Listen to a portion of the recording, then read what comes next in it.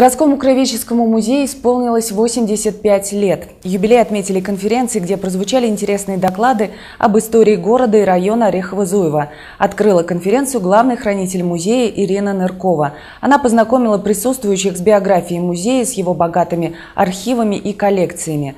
Поздравить коллектив музея с 85-летием пришли представители городских предприятий, работники культуры и священнослужители.